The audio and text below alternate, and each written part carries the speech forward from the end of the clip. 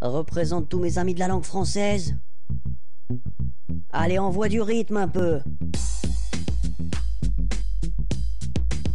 Spécial dédicace au quartier de la grammaire, résidence de la conjugaison. C'est parti. Je dors. Tu dors. Il dort. Et elle dort.